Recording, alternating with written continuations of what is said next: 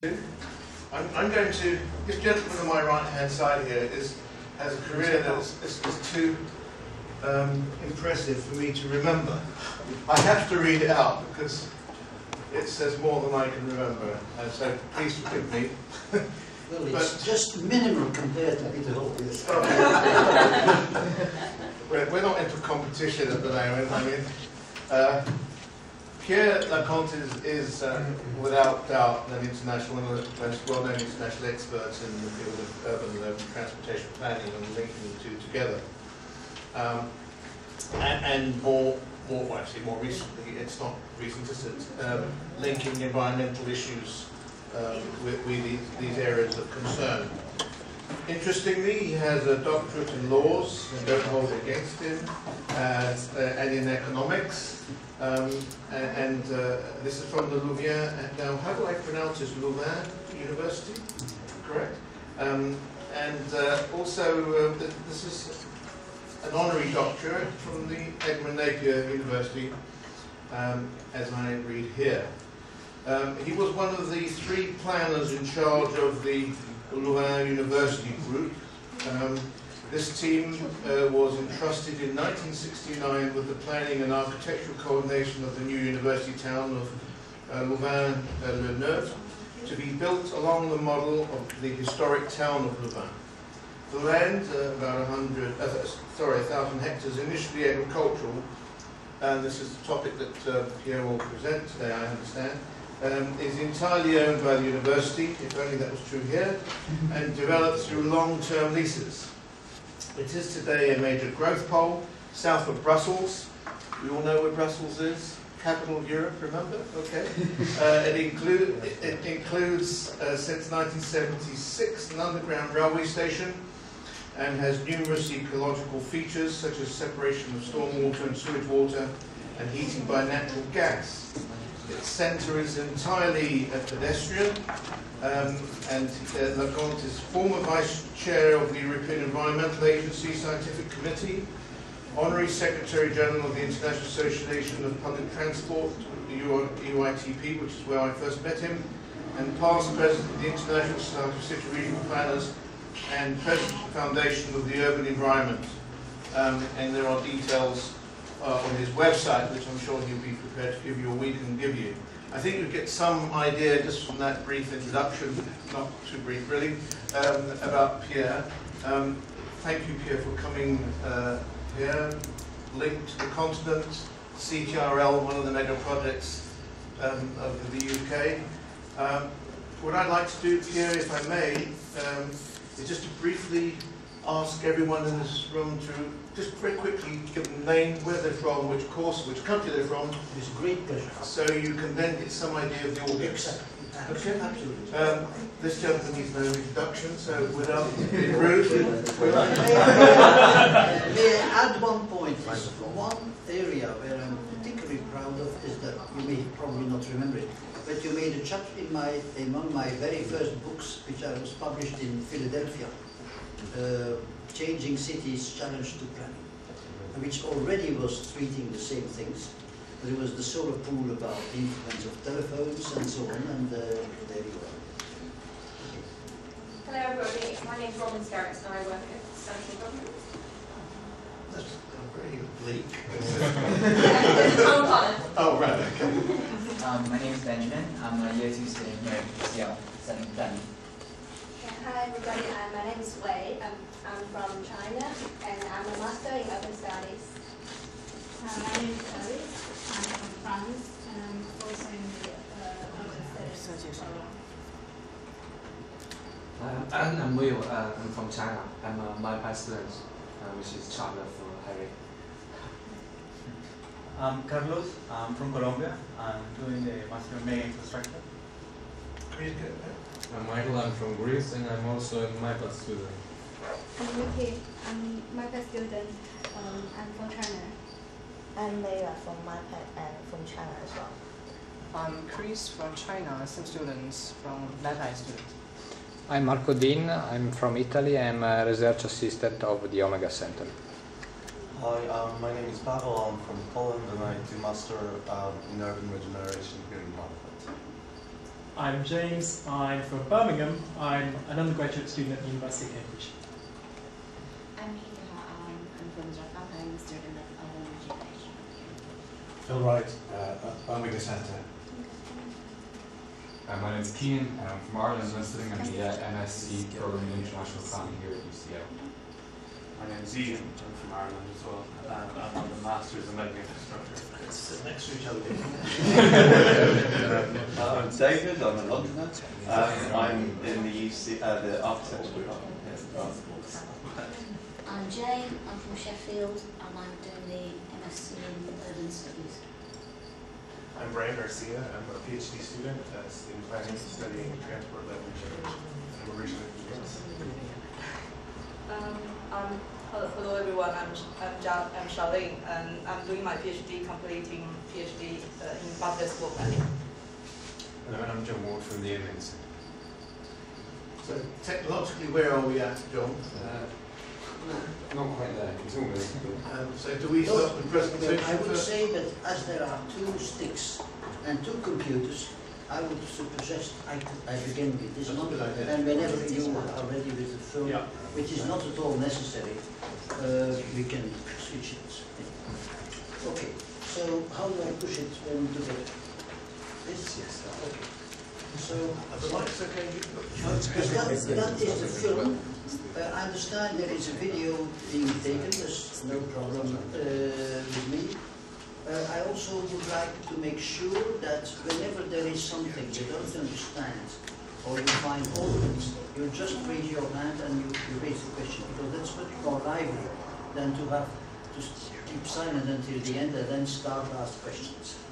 So that is uh, the, the project being 40 years old, the national TV uh, gave three minutes to it uh, to celebrate its 40th year, and thus that's what uh, you suppose three minutes. Uh, it's, it's uh, images because the language will probably not be understandable to you, uh, and that is okay. Because it all started in the old city of Louvain. As you know, in the Middle Ages, uh, Bologna, and then a few others started to have universities. And actually, I was giving a lecture today at lunchtime about, with the rector of the University of Brussels, um, about the influence of universities on urban development. And that was exactly the case in the Middle Ages. Uh, so this is an interesting picture because it shows many things. It first shows the middle-age character of the old city of Louvain. B, that city was entirely destroyed in the war 1914. Uh, most, mostly destroyed. And so it was rebuilt in 1920 as it was, which made a huge controversy at that time. They say, why the hell do you have to build it the way it was? Well, that was the case. And as you can see, all these houses are easily recognizable as being of the late uh, of the late 1920s or early 1920s, but still the middle-age character is totally kept. The place, everything. So uh, now, 70 years after that reconstruction, more than that, there was an international conference on the reconstruction of cities after the wars, and this was great. Suddenly, the city of Louvain was fantastic. I personally liked it very much. I live close to it, and I've been studying there, and so this was an excellent move. So at that time, uh, in 1960, just a few years later, uh, the linguistic problems started to become acute in Belgium, and uh, the presence of a French-speaking university in a Flemish city, even if it had always been speaking Latin and then French, was considered as a polluting element, and uh, it was ethnic cleansing was required. And so the French-speaking part of the university was invited to leave. To leave.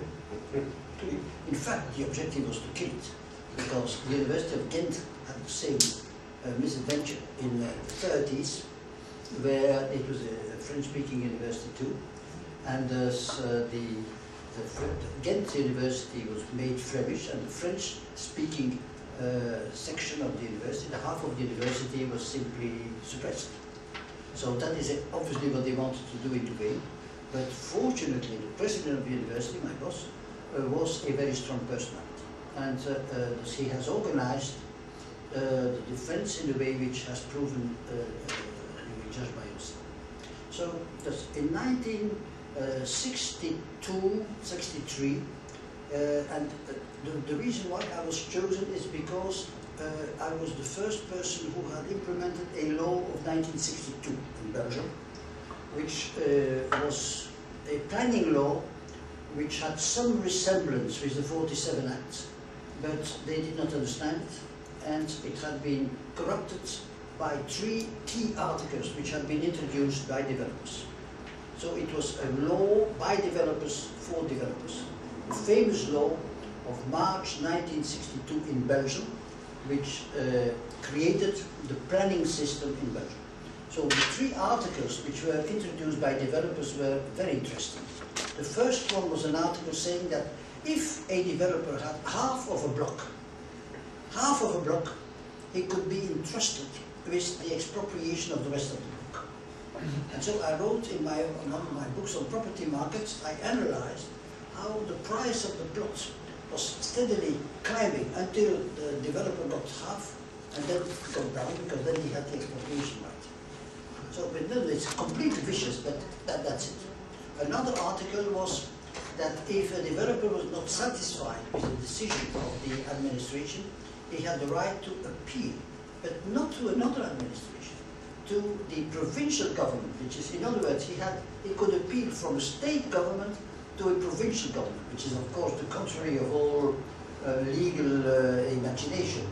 And then the third one was if somebody um, had a plot uh, for which development was refused, and which normally should have been built, he had the right to compensation. Uh, I have only seen that in one country in Malaysia where they had a similar system. Uh, but as you can imagine, there's, there's, that is a kind of biographic beginning of it. So the whole thing was that uh, when the university had to leave, the president of the university said, what the last thing we want is to, to, to be killed in the, in the ambulance, as he said, and the other thing we don't want is to have a campus. And then, uh, uh, because he had seen a few campuses, namely the ones of the Robbins report in, in England, Exeter and so on, were far from successful. And so he, he, he decided that if they had to leave a, a, a, historic town, he should create a historic town. And that is, that is the whole idea. And then all the rest is execution. He was really the person who had the brain to uh, to say we want a, a private, of course, private. Why? Because the government was, of course, the, the University Grants Committee was uh, had about the same reaction as if one of the Robbins universities uh, had decided to create a new town. Not your business. Um, and of course, the Socialist Minister of Education at the time said the Catholics want to make uh, speculation uh, and so on. So, so it was quite a discussion, uh, but nevertheless, the university uh, went ahead and uh, bought a thousand hectares in a place uh, fully in the countryside where nobody would ever believe they would build something else than uh, farmhouses. And another peripecia, which is interesting to know, is that the president of the university, who is not a planner, had been very impressed by a lecture by Victor Gruen, Victor Gruen from Angeles.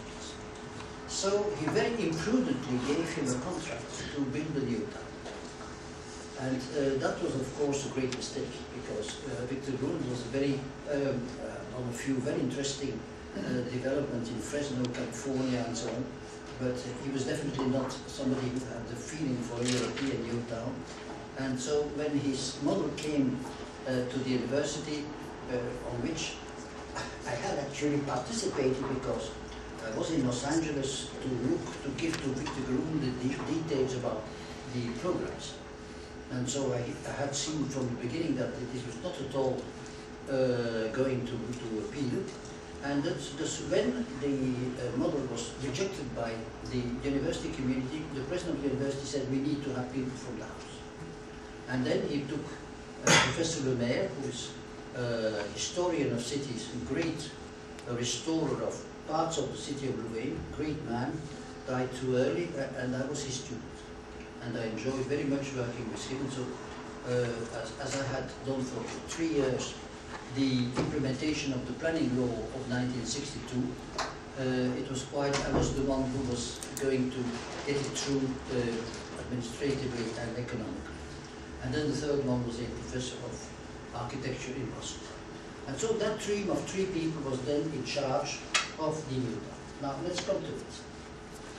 Um, dus that is the urban sprawl of Belgium.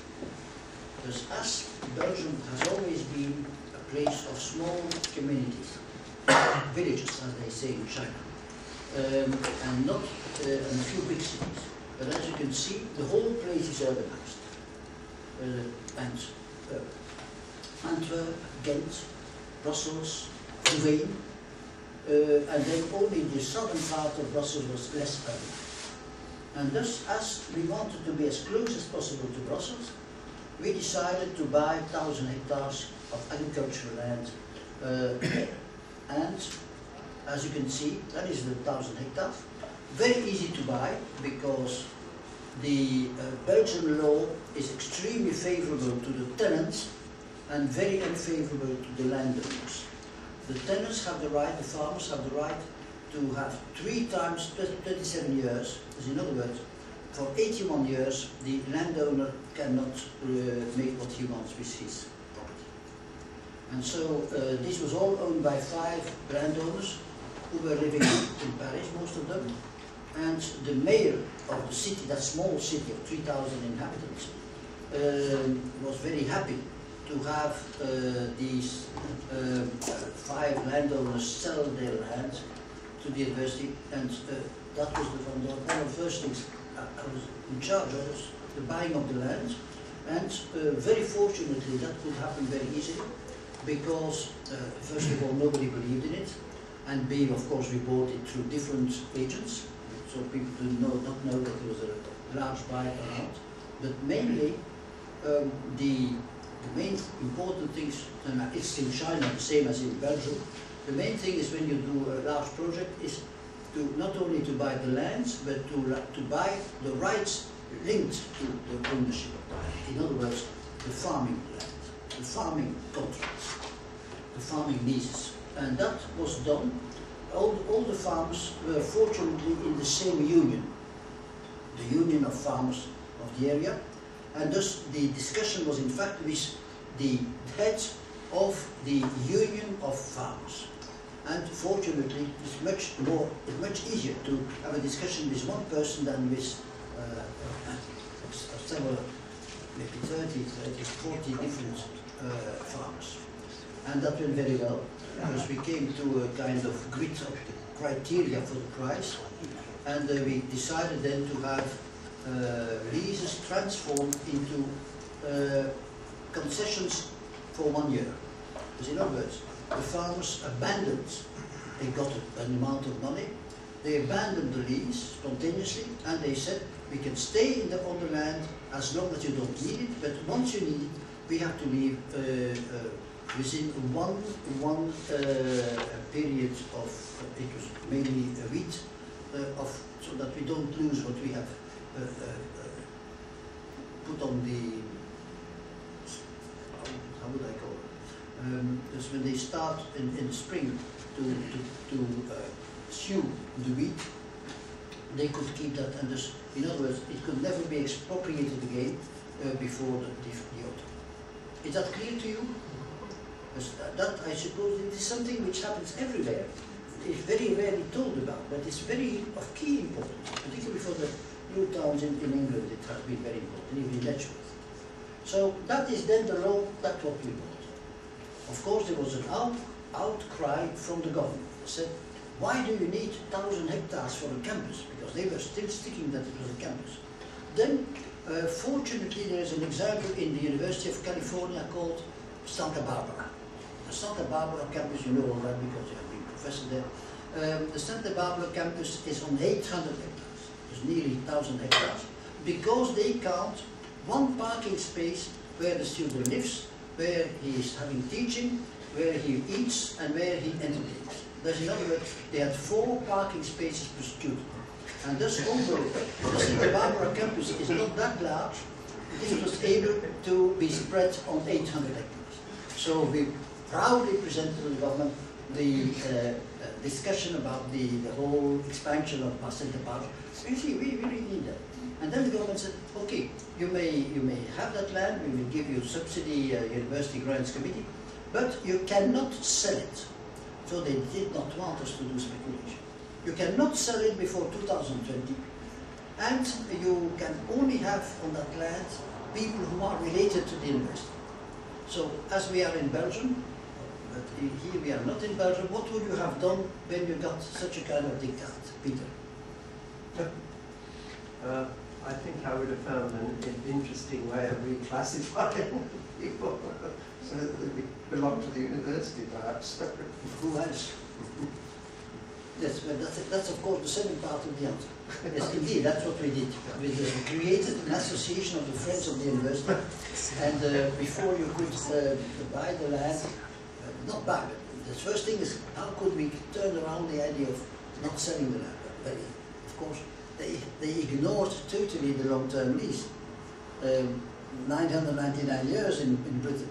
So we just decided not to sell the land, indeed, but to have long-term leases. In other words, all the land which was put on the market was put on the market for a maximum duration of 99 years. Why do I say a maximum?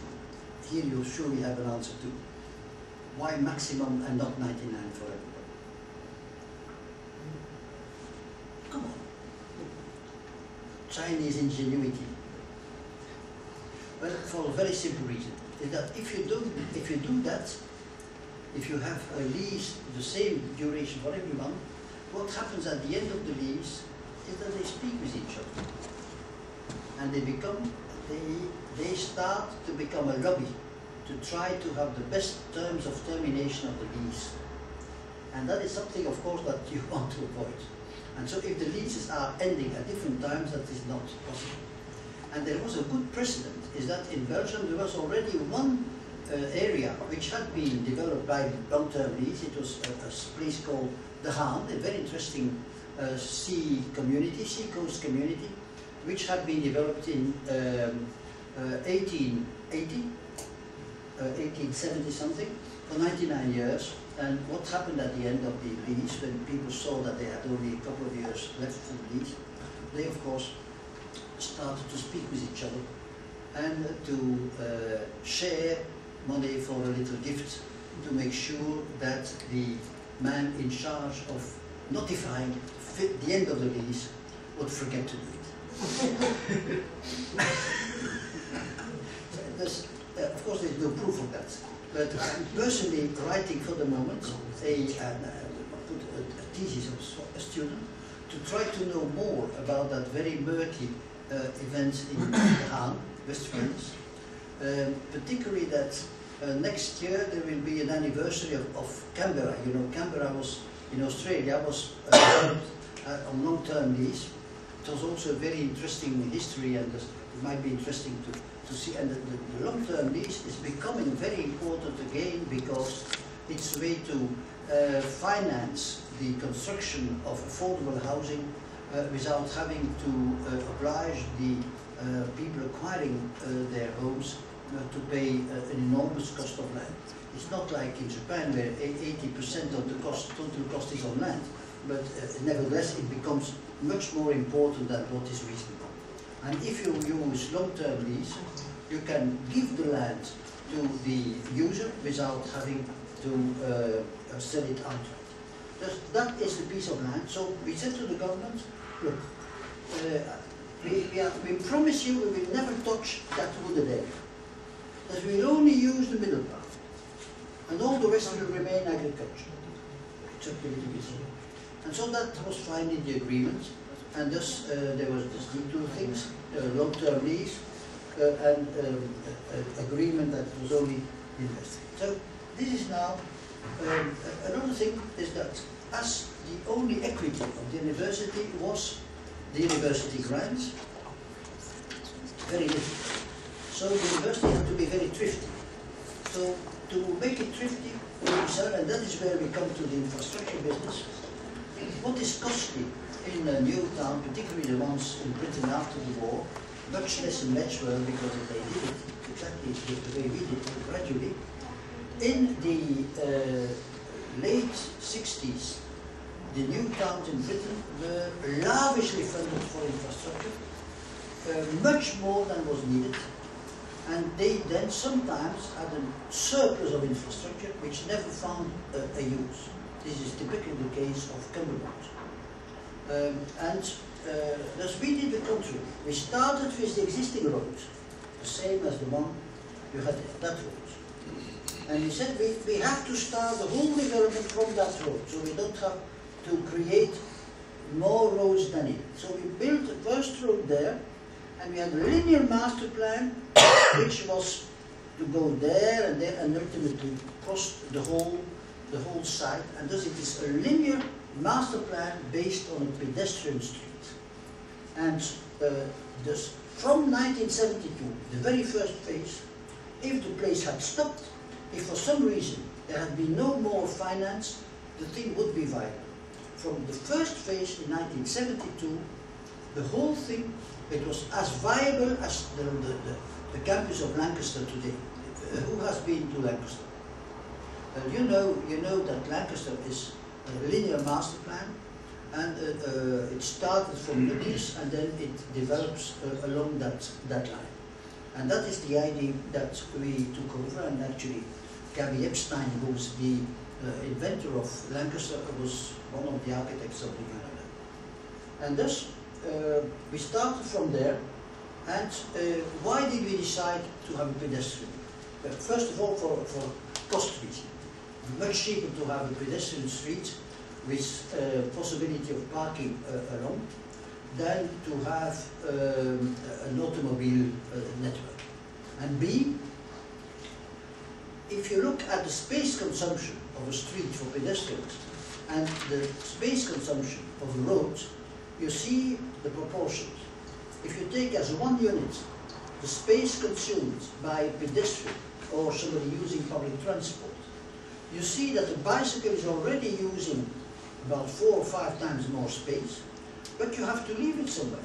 Thus there is a, a problem of uh, load of uh, travel and consumption of space when the, per when the person, when the mode of transport is not. Uh, is uh, should I should do more on the right? Is it better like this? Um, so this, if you take a car, the car consumes about 18 times average more space than a pedestrian, but you have to add the space the car is using while it is not driving. That means 90% of the time of its lifetime. And thus you see immediately that if you want to accommodate the whole city for the car, you get to an impossible situation because the difference of space consumption is from 1 to 90. Because if everybody is commuting to a central place by car, you have to consume, you have to count that the consumption of space uh, for driving to the place is already 20 times pedestrian, but you have to add the space of uh, parking.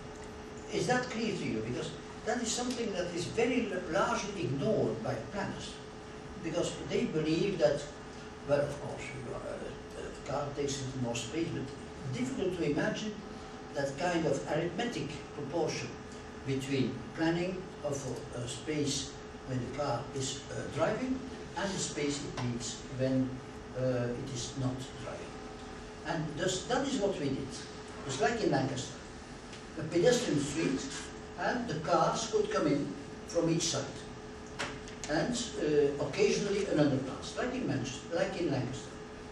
And here you had a, a little road which started from the existing road, here too, and uh, uh, that is the main pedestrian street uh, for multi-purpose. And that can be applied in China uh, as well as in Europe or, or elsewhere.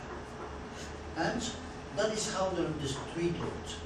Of course it was street. Here are all buildings, university and non-university. The, the, that is the, how it looked in 72.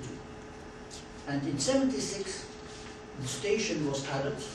That was a great luck that the National Railway Company accepted to create a new station, uh, uh, not based on any COBA, cost-benefit analysis, because there were no passengers immediately, but they accepted the, the perspective of having passengers later on, which actually was very good, very good calculus, because as the university and the campus and the, the new town is extremely successful, uh, the station has been uh, very well, very well used. And as you see here, you, you started from the existing road, then you have a first little piazza, pedestrian street continues, continues, another piazza, another piazza, and then you come to the station. Just, let's see how it looks. That was the center of the first phase, 72. Thus, uh, the idea was to make it cheap, uh, but to have one iconic building, a kind of church. Uh, and this is the, the science library. Uh, we, they did not buy a, put a church, but we asked to a very uh, prominent architect in Belgium, Jacqmain, to uh, make a building which would be not only a, a science library, but would be an iconic building. And so that became somehow the image of the new town in 72. That means at the very beginning. And here you had a kind of piazza, the gathering place, and the underpass, which I showed you in the diagram, is just under this place. and that worked very well. It was a rather mineral place. And uh, next to it, to have more nature, there was a kind of covered plaza uh, with trees. Thus there was a kind of uh, contrast between the mineral, the purely mineral part of the piazza for the uh, science library and a walking place, a kind of garden just next to it. You should see that in plan. Those who are architects, uh, it is very striking. And this shows you exactly how that pedestrian street looks like. Few trees, but planted at strategic places.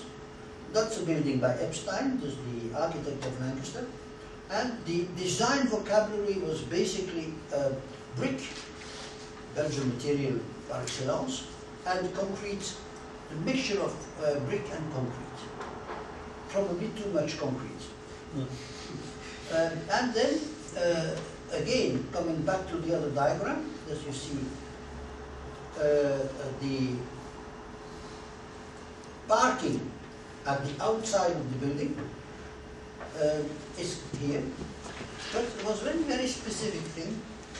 Uh, we asked to the um, architects, uh, in fact the landscape architect of the parking, to have, and that was in fact his idea, is to plan them of course, to have uh, no concrete, no asphalt, the rain could go through. But he had the idea to have all the trees of the parking different.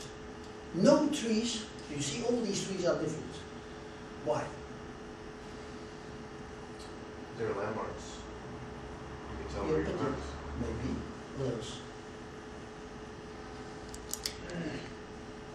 There's no need for them not to be. Big what? There's no need for them not to be different. Sorry, the same.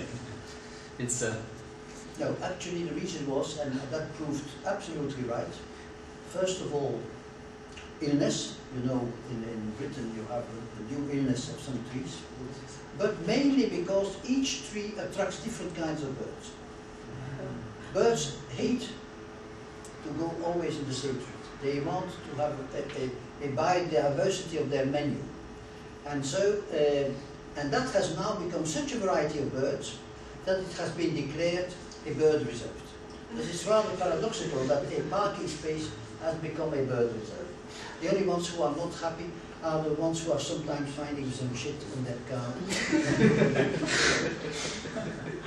okay, but that, that gives a little uh, alert to the uh, car cleaning. Uh. okay, so then in 76, uh, the uh, university uh, got the gift of a new station by the.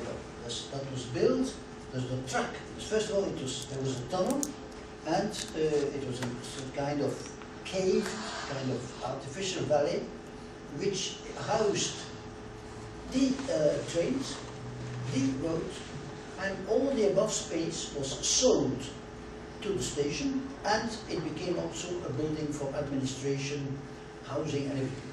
So the air rights were immediately used by the university uh, before the trains arrived because it's cheaper when you have air rights to use them when the trains are not yet there.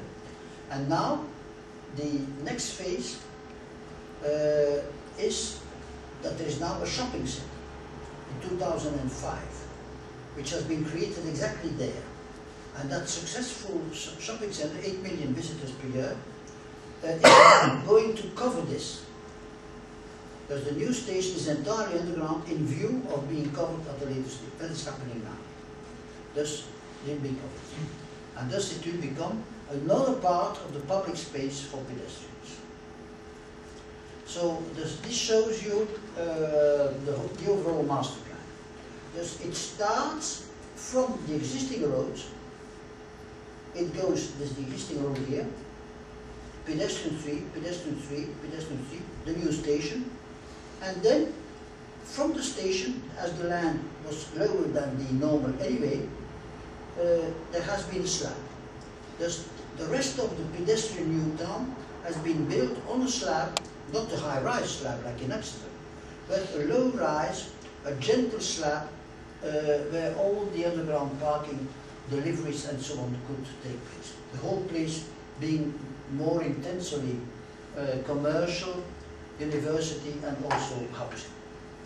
So this, that is how it looks like. And this, then the lower part of the site was there and uh, as we wanted to make it also as cheap as possible, all the storm water, including the water coming from the parking spaces, was drawn, was guided to an artificial lake which was exactly the lowest point of the site.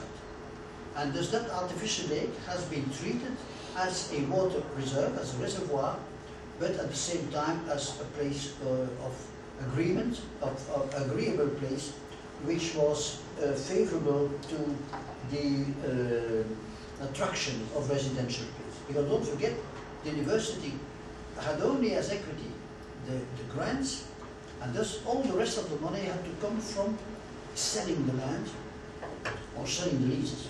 So if you had such an artificial lake, that has been a very great boost for selling uh, apartments, uh, high density, low rise to the newcomers. Uh, this, this is how the slab looks. See, this, the outside of the slab you have the forest land which you have shown, and this is land which has been uh, um, sold on long-term lease to uh, developers, small developers, usually from the city of Louvain. Uh, and uh, as you can see, it's bland, but it is uh, cozy, low price, and there is a marketplace like in every every village in Belgium. and that is how the station looks from the street. So the whole thing is pedestrian. The street, that is the pedestrian, long term, the, the, the spine of the whole university is there. And you can see that the, uh, the entrance of the, of the station on the street is here. And then they have to go down a few steps, and then they, they get to the train, that you saw in the previous page. That is how it looked like from the tracks, and this is how it looks like from, from the street. It's very bland, but pleasant, and the slab has been an immediate success. There is other words, people have liked to come and live there, having uh, commerce. Uh, it was all arcaded canopies in order to protect against the rain and the sun. And uh, this is how it developed. That is all developed between 1976, when the station got into operation, and 1990. Uh, it's about 20 years to fill that slab, little by little, phase by phase. And this is how it works. Thus, the lower part of the land is owned by the university. Uh, you have parking space which is uh, used either by the university or leased by the university. You have the uh, uh, train station, more parking, and above you have all pedestrian and you have uh, developers and academics, uh, a, a mixture of university buildings and buildings for uh, private use. And the pattern was like in traditional old, uh, cities in Europe, uh, canopied, but narrow streets, uh,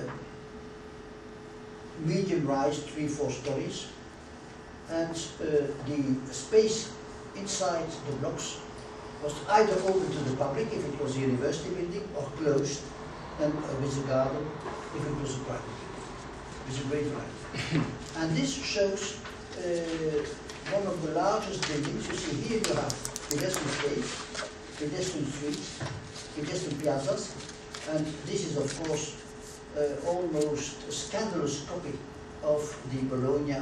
Uh, it's really the Italian uh, university town, but it works. People like it. Uh, the architect uh, Verhagen is a, a, a very, very good architect. He, he actually I had a very good experience in that building. Was uh, a few years ago. Uh, the German Academy came and the architecture section, Baukunstabteilung, uh, came to visit the Louvain-la-Neuve. By chance, the architect was there, and uh, the the German architects asked us, "Who was your uh, your contractor?" And he said it was Strabag. Oh, very interesting, Strabag. We, we are using Strabag. And then there was two hour discussions about all the nitty gritty of the cost of the building. And to their amazement, the building cost exactly half of the price a German building of the same kind would be uh, costing. And then, how is that possible? Well, the architects are very simple. We don't use quantity surveys. Do you know what is quantity surveyors? There's, um, we don't use quantity surveyors, but my plans are made like if there was a quantity surveyor. That means when Strabag came in, they said, now uh, let's have the working plan. You don't need working plans, yeah, all my plans are working plans. Oh, they, they, and that is how the Strabag was not able to count, to charge the, the client, the huge surpluses which are always the case when you have to change the plans. And so that is why the building was 50% cheaper than uh, Strabag buildings in, other places. Do you understand that uh, tricky business? Who does not understand? Okay. And thus, this is uh, exactly how the slab works. Uh, gardens, uh, small places, all looking rather large, but in fact very small. With restaurants and so on. By the way, you uh, may wonder why trees on the slab is very easy, because uh, quite already from the 60s, uh, if you put kind of iron grids, you can have trees with very low, uh, 50 centimeters to one meter is enough to have fully grown trees. And thus in 2005, the shopping center came in and has brought a new dimension because uh, it added very much the choice of shopping for the inhabitants because they could either go to the small shops which were there or uh, use the shopping center. Moreover, the agreement with the developer of the shopping center was that he also had to develop a residential street, which he did, which also was uh, uh, very successful. And then uh, the, all the stormwater is collected to an artificial lake that serves as a reservoir and an amenity. So uh, at this point, I would again like to know what kind of questions that come into mind, because this is, uh, we are now about two-thirds of the, that is about how the traditional Louvain-la-Neuve development has been going on. The new development I'm going to speak just after this. Now, are there questions about what you have heard until now? Yes. How was the government persuaded to build a railway station without any inhabitants currently living? Well, I will. Uh, the Minister of Transport was a French guy. And uh, he uh, was very ashamed at what happened, because it is clear that the kicking out of the university was very unethical. It was really a move by the nationalist Flemish movements, uh, which are bit ideologic, you know, uh, nationalists all over the world, including in the UK um, and Scotland. Uh, they, they sometimes have dreams which are not, not really fit to the reality. And that was the case. the, ci- the city of Louvain and the Flemish population definitely did not want the university to, to leave or to be killed. And thus the minister was very conscious of that and he said, well look, uh, it's a kind of gift that we make to you uh, to have this station. It, it's not justified by the COBA, but it is justified by your master plan. So if your master plan is successful, uh, we will make a return on that station. If you fail, but it could not really fail because already there it was already two or three years in operation. He said then then uh, we go. And that's it's the more interesting that the, the railways do not have the land, they only have the corridor where the, the trains are moving. But your question is uh, leads me to the next point of my presentation. now just- show you that uh, you know if you have an amenity at the same time as a reservoir, you must make sure the water is reasonably clean. So that you have to kind of free. So that is the, the, the look as it is now, this university, and as you see that you still have uh, possibilities of development around the lake. So by contrast, I wanted to show you Cumbernauld, because in Cumbernauld they did the mistake of building this huge center as big as one of Louvain, but uh, without making sure that people would use it. So it's a bit of kind of isolation, and the, uh, they never found really good tenants for that. So little by little it became, have you been, who has been to Cumbernauld recently? How many years ago? Ten, And uh, was it already? It's not in good condition. Okay. So, but uh, my personal view is that it's completely their fault because they have made a plan which was a kind of center in isolation instead of being part of, of, of the spine uh, uh, uh, in our case. So that shows you again how that works. The spine is here, and thus you have all sorts of uh, diverticals uh, around the spine on each side. That is a private museum. The Tintin, uh, the, the, the, the, uh, um, the Tintin story has been a, a, a, a milk cow for the publisher and for, uh, and for, and for the, the, the Mr. Hergé and his wife. And so his wife said, we must make a, a museum for uh, my husband, my, my past husband. And um, they first tried in Brussels, but the administration in Brussels is notoriously inefficient, and so they were not able to find an agreement with the Brussels administration in time, and so they decided to come to Louvain-la-Neuve. And that is how the museum looks now. Now it has already five years, quite successful, and uh, it is part of the spine. So now the next point I want to bring to you now is the, the development which is going on for the moment.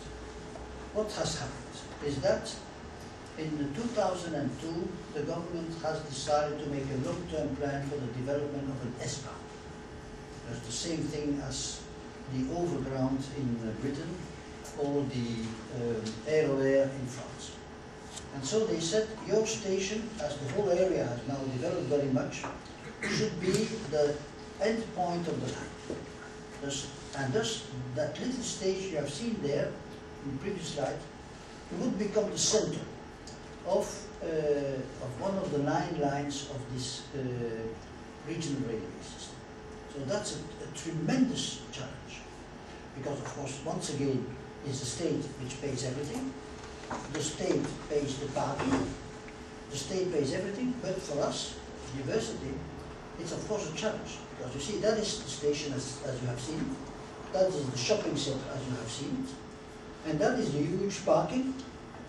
And thus there will be a kind of challenge to know how to use the parking both for commuters and for inhabitants, how to continue the style of high density, low rise, and so on.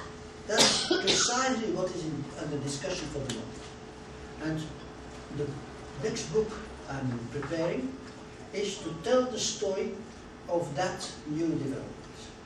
What is going to happen? What, what will be the effects of this huge infrastructure built, of course not as large as the ones you have been uh, studying in Boston, but nevertheless, or, or in uh, St. Pancras, But nevertheless, it's a large, uh, at regional scale, it's a large, large development.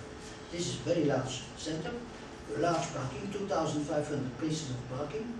Uh, how do you do you have access to it? And that is that is in fact the, the ongoing uh, uh, discussion for the moment. And uh, the, the extremely uh, controversial. That means that many of the inhabitants feel that they should better do without it. Uh, by the way, as the place is not a, a, a, a community, it's only one fourth of the community. In fact, the decision makers from the participation point of view are, is the association of inhabitants. Those all inhabitants are members of that association, which to answer the question of Peter Hall, we created that association from the very beginning because this was the justification of uh, closeness to the university.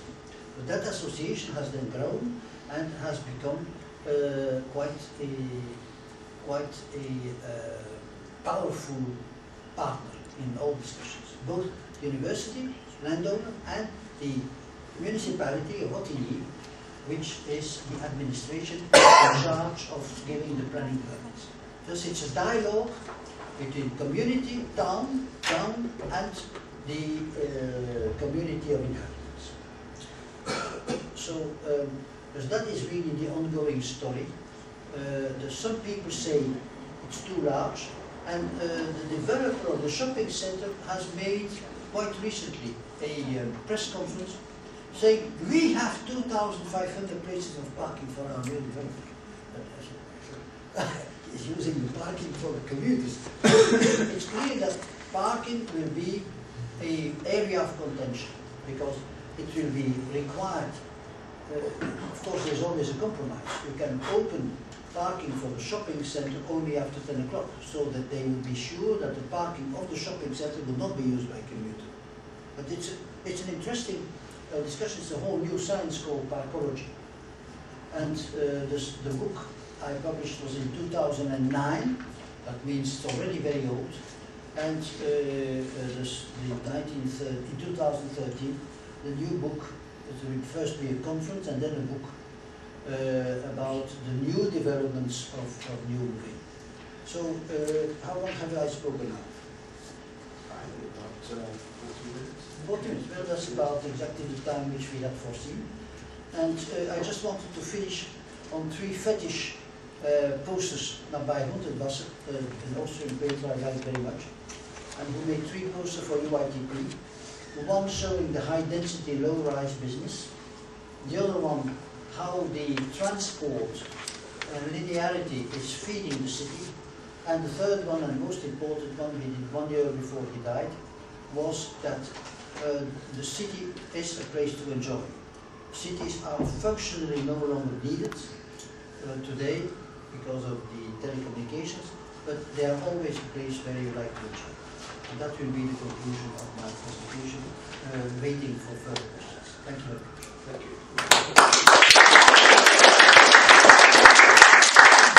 If you want to try to get that video going, or should we go straight to questions? You can try whenever you like. But first questions could go on already, if there are. Usually when there is no first question, we just go straight to the second question. well, let me ask the second question then. um, I suppose, uh, to open it up a bit, I mean, the whole saga of the Volleneuve um, really raises the question which you, you, you, you touched on at the beginning of new universities and also university relocations. Uh, I was thinking that there the were major relocations, for instance, the Amsterdam Free University, um, uh, Delft uh, Technical University, um, and, um, uh, and um, indeed some, some universities here in this country. Um, some of them were planned in relation to public transport, especially tram extensions. In Delft, they're putting in a very interesting tram extension right in the middle of the campus now. But the, the, the really interesting question, I suppose, is how you put together in a, in a, strategic plan a new university campus, new transport line, and then associated development. Um, uh, like that shopping centre uh, and, and, and like the park and ride facility because they can too easily come in, in conflict with each other. Um, uh, uh, it, and it, it does suggest that you have to somehow begin to plan the university campus in relation to what's happening around it and between it and the city. I pick I, that complete- I completely agree with you. I, would, I would say that I'm personally not in favor of a campus as a whole. Uh, the campus of Harvard works very nicely, or the, the, the, the, the grounds in Cambridge and Oxford, but because they are part of this- urban fabric, they are not an isolated campus. Isolated campuses are the Robbins uh, new universities, York and so on, and the French universities. When I visited French together with Lemaire, uh, the, the other guy on the planning, uh, we, of course, it is almost impossible to, to remember the slides we took because they were all looking exactly the same. Um, there's Talence in Bordeaux, Lille, all these French campuses are made according to the same kind of uh, bureaucratic rules which were excluding, in fact, um, the uh, uh, mix of activities which a city needs. And that is the big problem of campuses, is that they are much too even Harvard. Uh, besides, besides a few cafes, you have uh, the shopping outside, Berkeley. Uh, does that work well in your opinion, Telegraph? Uh, just outside of the campus and then no commerce in the campus itself? I, I think reasonably well. There have been some problems, well there were in my day, with Telegraph going downhill and becoming a rather seedy area that people avoided at night. Um, also, because Berkeley is like Harvard or MIT in the middle of a very large metropolis, um, uh, uh, i its relation to the BART system is interesting. And the BART is necessarily peripheral to the campus. I mean, it's quite a hike to walk from the BART station all the way up the campus to, say, Wurster Hall, where DCRP is located, as you may know if you've ever done it. So it's not perfect, but I suppose keeping the integrity of the campus uh, was a very important uh, feature in Berkeley, and I think in other campuses across the US, they didn't ever contemplate big mixed-use development in most But cases. Columbia has that. Yes, that's true, it's an urban unit. And uh, of course, Columbia, Morningside Heights had become a very unsafe place at some point, and the latest years of Dinkins. But uh, uh, just the, after one year of Giuliani, the place became absolutely safe, uh, completely a metamorphosis. And uh, in Britain, what is the story of uh, the mixed use?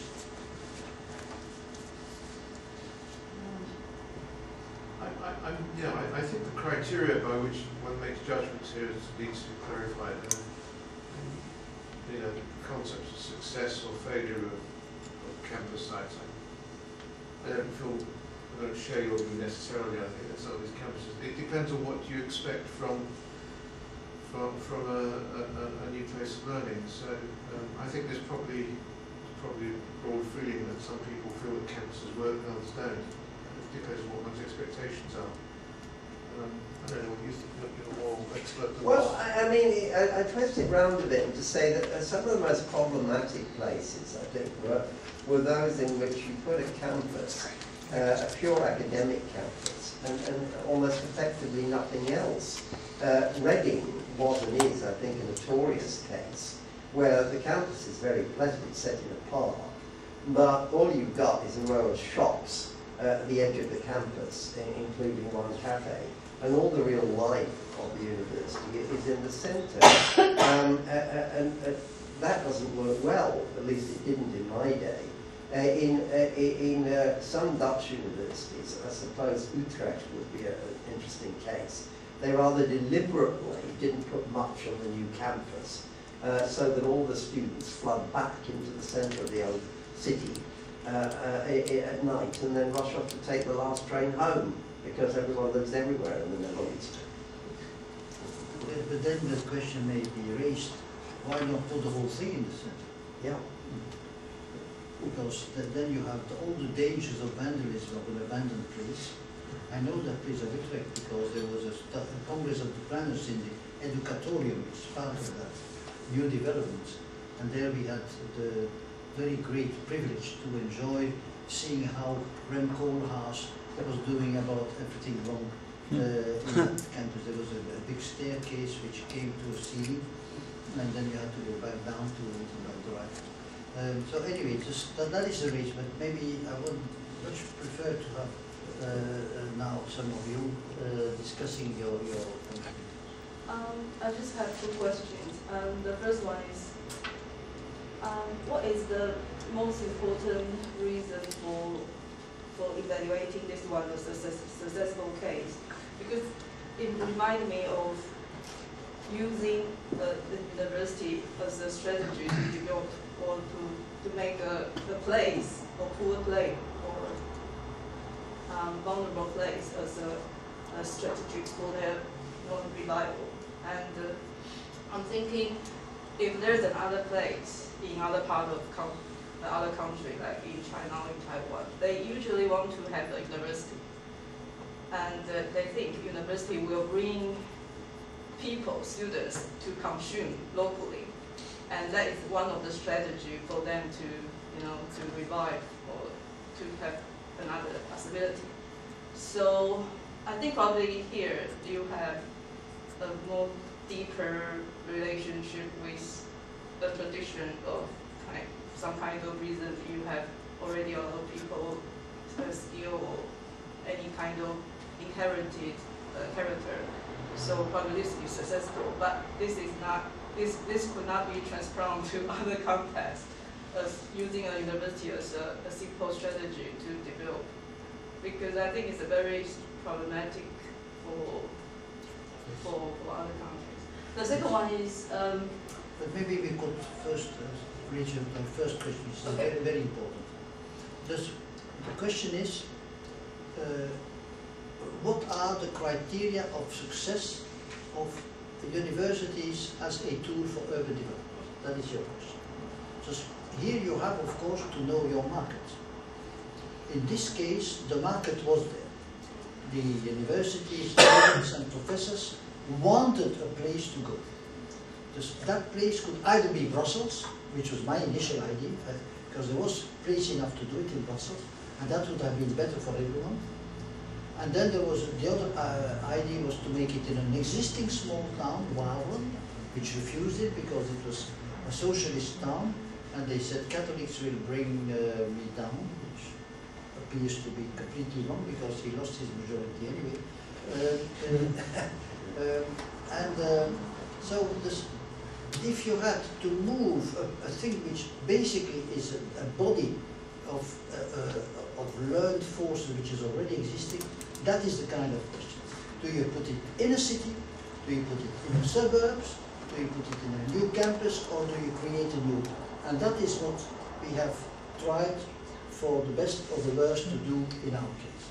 Now, if you want to bring a university as a tool for development of a city, well, there you come to the German case. The German case, there are 19 uh, university cities in Germany. They are sticking together very closely. There is an association of university towns. And when you enter the city of Marburg, you see a big panel, Marburg, University City of Germany. And thus, uh, there is a kind of collective sense that a university, an existing one or a new one, uh, are an, an asset for the development of a city and a kind of prestige item. When you are a university town, it's different than if you're just a town. And that is, is that answering your question? Is just to use the uh, intellectual assets of a university or of existing small, because uh, in Brussels, for example, there are 70 universities.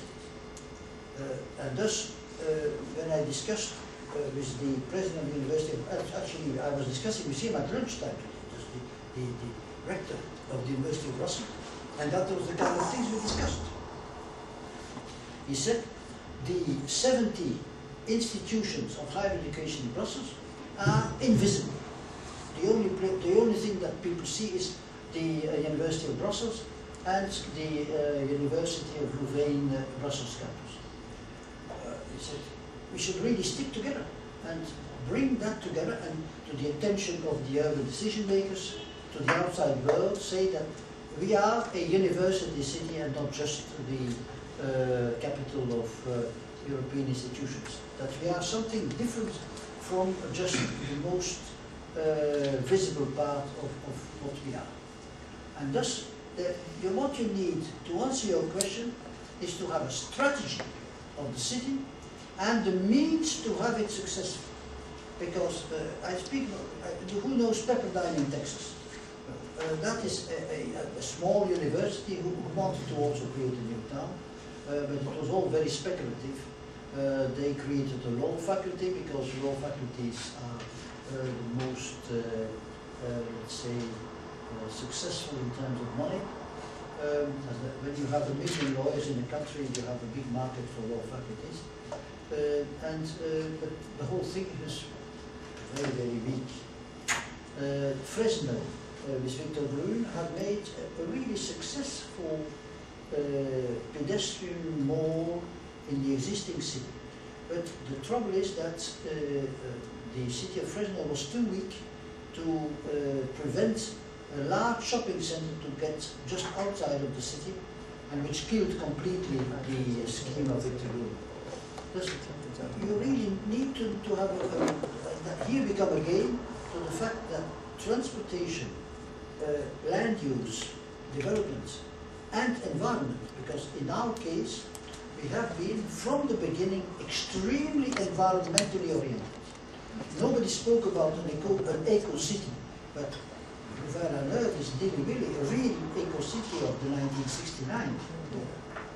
So the, your question raises many points, but I'm not sure that I can answer it without knowing the facts of the case.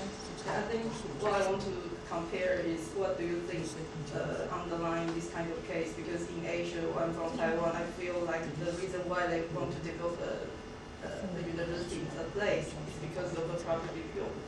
Uh, property development. Because they want to uh, make it to develop a town and from very low rent and then to, to create, create. That's what I want to, Yes. to know.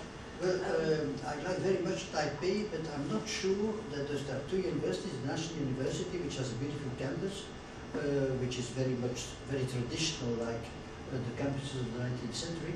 And then you have the other university, the Technical University, which has moved deliberately from the center to a completely new place, which is very far away. And uh, maybe that's the university you are from. Uh, no, no, no. I'm Uh, from the south. But what? I'm from the south. Yes. Uh, Kaohsiung, there is a different. But uh, the case, You know very well. in the case of Taipei, I can only say, because I'm uh, giving regularly lectures there, uh, it's to me a nightmare. Because the National University is a beautiful campus uh, in the middle of the town, while the other one uh, was taking a pretext that they did not have space enough to expand, to move the whole thing to a very far away place, hoping, as you say, uh, to have an increase of the value of the land. But the trouble for them is that nothing's followed. That campus is now completely isolated. Uh, uh, the students uh, and the professors have to come, as, as in Utrecht, from the city, but very far away. Just, I, I, I see very well your point, and I would never recommend that. I think the, if I had been advising that university, I would have said, just try to buy land next door and to develop on, on what you have, uh, even if you're a little more, a little less space. Yes. Yeah. Um, I just wanted to draw on your expertise with relation to what UCL are planning to do. I don't know if you're aware, but UCL are intending to build the, the same size campus as in Bloomsbury to replicate it in uh, Newham in East London. Where? In Newham, right by the, the Olympic Village. Yes. Um, and the plans intend to demolish an existing um, housing estate, a 60s housing estate, which is occupied by about 300 families. Um, and it's contentious in a number of ways, and it seems like the successes of Louvain is that threefold that there was a necessity to build there in the first place, um, that it was uh, it had the consent of the landowners or uh, the, the tenants of the land when it moved, and thirdly that it was sort of incremental and it tested and, and it built slowly. Um, and UCL's plan seems to have none of these three. Um, it's building over an occupied land where the, la- the residents are unhappy that it's doing so. The actual logic of the plan is questionable. Um, why UCL needs to double in size to sort of expand its research capabilities. Um, and then in the uh, very early drafts of plans we've seen, um, it seems like it will all be built on sort of tabula rasa, um, uh, completely from anew, not, not taking in the sort of historical. Um, so I was wondering the sort of, I think the key is relationship with the community that it's moving into, whether you have any sort of, whether you can draw upon your well of experience on whether other universities have done this and whether that's been successful, um, and whether we should go ahead at all. Well, I don't know what Peter Hall thinks about it, but uh, I, I would rather be skeptical because uh, if the place had been completely new, for example, a marshland that you want to occupy for something else, or a disused airport, uh, as you could do in Athens, for example. You could have built a beautiful new, new area and university on the former Athens uh, airport, which is empty now for, for more than 15 years, uh, or 15 years. So, so the, the question is, uh, if the University of London, uh, when I look here, I see there are many places which can still be built up. There is one in Golden Street where you can make new things. You have high density possibilities. Uh, the city has multiplied its plot ratio. There's no reason why the University of uh, London could not do the same thing. Uh, if they allow it for a, a, an office building, which will probably be empty very soon because of the crisis, um, uh, why could you not do it? Uh, and actually, I have proposed such thing for the University of Brussels uh, in, in Brussels when they were abandoning the uh, administrative city, as they call it, administrative city, uh, which had been built at the expense of a residential area. But when it became empty, why not use it for the university? There was because there was no demand for offices. So I'm a bit skeptical at the uh, cost-benefit analysis of demolishing an existing residential area, unless there are political reasons. Is the kind of people living there the kind of people the government doesn't like? Um, well, there's certainly the, the, the local um, council, Newham, have certainly seen this as a, a, an opportunity to, to bring in more revenue. But there's also a, a, a claim from UCL scholars that UCL is seeking to just uh, double its property assets so it can borrow against it rather than. Yes, I see. How could you think like that? What is, uh, well, maybe that's an interesting question. Peter Hall, did you, did you follow that? well, yeah, yes, we've all been trying to follow it, and there, there is a suspicion that yes, this is the um, uh, motive uh, of the uh, UCL um, uh, property people who seem to be uh, uh, a bureaucracy operating totally on their own. That's uh, it. in relation. That's to in the most rest of the universities. university. And, and so they want to make a, a, a monument to themselves. Yes, and they, they are engaged. they are engaged apparently in massive property speculation, which is uh, uh, raises questions of uh, what is the function of a university. Can we I think uh, the answer comes from somebody who is more authorized than I am to answer. Next question. Um, it's, it's a really interesting presentation, so firstly, thank you. Um, secondly, I mean, what really struck me was that the approach that was used um, uh, at Louvain was very pragmatic, very cost effective, and it's produced a really good outcome. So why isn't it used more widely elsewhere? Then you have to look at the parallelogram of forces. Okay. Which were the forces which were at work in this case? There were in fact two options. Either to go to the center of the Bru- uh, Brussels, where a very active mayor had reserved uh, uh, 40 hectares, more than enough for a campus, uh, even for ur- ur- urban functions. And then you have the uh, board of the university, which was so traumatized by the fact that they were kicked off uh, a city where they had been living for 500 years. there was a tremendous collective will to create something which would create a new image. And that is why they refused the offer to go to Brussels. Although this, this would have been an excellent solution, because they would have, all the infrastructure was there. They only would have to take care of the university building, they could still have on the campus. Uh, and, um, but they wanted to have something which was their own image. And the speculation was not at all the motive. The idea was to create a university where the equity coming from the grants committee, the Belgian equivalent of the grants committee, uh, could be used to develop something which would be a mix instead of a campus. To the case of Louvain-la-Neuve was answering to a specific parallelogram of forces. So if you have the same thing elsewhere, you can replicate it. But you need to have the champion of something. I very much believe that uh, property development requires a, one or a few people who have a collective vision on what they want to achieve. And that is not necessarily making money. Uh, to take an example which has not been mentioned, Jim Rouse. I have a great admiration for uh, the American developer Jim Rouse. Jim Rouse, a very rich developer, uh, but he created a new town, two new towns in fact, uh, just uh, he surely did not become richer because of that, because Faneuil Hall and all this makes a lot more money. But he did it.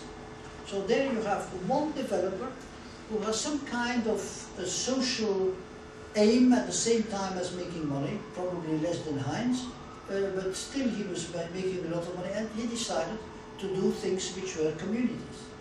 Uh, he restored, Van, do you know, do you know Faneuil Hall?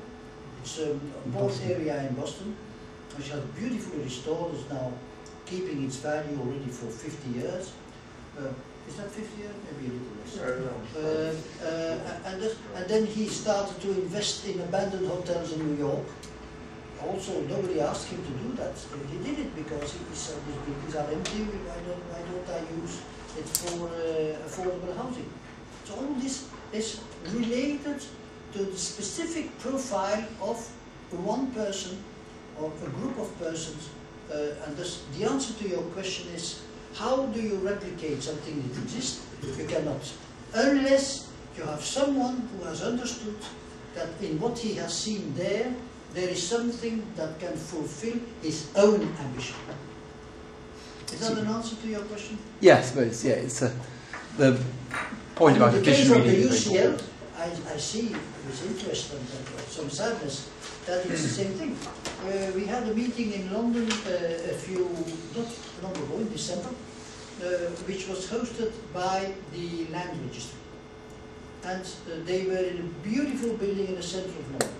They sold it because of their real estate people and they bought something in Cro- Croydon. Yeah. They lost half of their staff. Uh, why the hell did they abandon a good location, known by everyone, uh, 150th anniversary, to go to a place where they are completely outside of the real uh, movement of London? Uh, and where all the staff, except the ones who were in that area, uh, uh, just decided to leave it. So, does, in other words, do you agree with me, uh, Peter? Yeah, absolutely. There's, there's, I think there is a problem in property, is that property is so important that you should not leave it to the property specialist. May we quote you on that? Peter, if I may have the last question, we're running Okay, out of yes, time. yes. time. Um, you, you made a comment that your presentation didn't refer to a project that was a mega project of the kind of X, Y, and Z.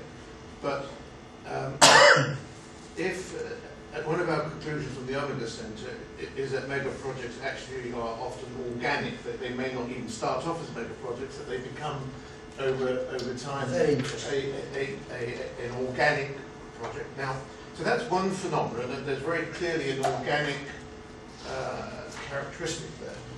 Another, But with an idea in view, because when you have a linear, that is more than organic.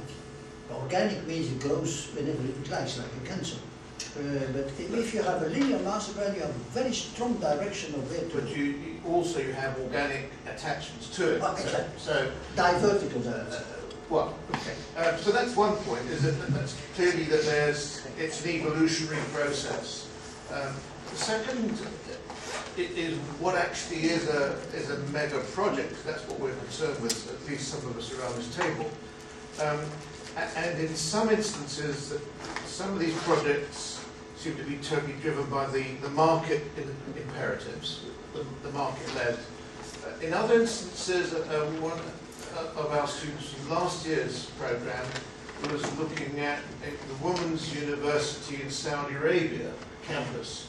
And, and that became an agent for change, because it was essentially not just a campus, it was achieving to do.